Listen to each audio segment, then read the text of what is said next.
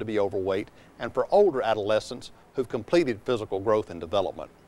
Rather than dieting, parents should stress lifelong healthy eating habits to their adolescents. For North Mississippi Medical Center, I'm Dr. Ken Davis. Welcome back. Teenage athletes are always looking for something that gives them a competitive edge. Well, today, Dr. Ken Davis shares a secret in our 60 second house call.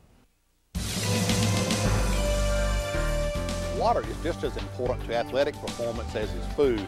When you sweat during exercise, it's easy to become overheated, especially in hot or humid weather.